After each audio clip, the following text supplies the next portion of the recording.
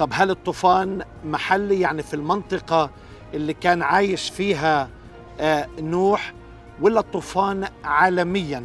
فأنا بترك الجواب لك إنه لو كان طوفان محلي ما كانش في داعي لبناء الفلك. كان الله ممكن يقول لنوح وعيلته هجروا للمنطقة اللي ما فيهاش طوفان. والحاجة الأهم إن الرب يسوع أشار إلى الطوفان. وقال كما كان في أيام نوح هكذا يكون في مجيء ابن الإنسان.